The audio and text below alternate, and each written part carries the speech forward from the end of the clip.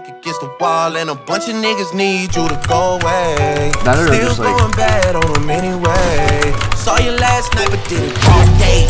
Yeah, a lot of murk caught me in a hard way, but got a sticky and I keep it at my dog's place.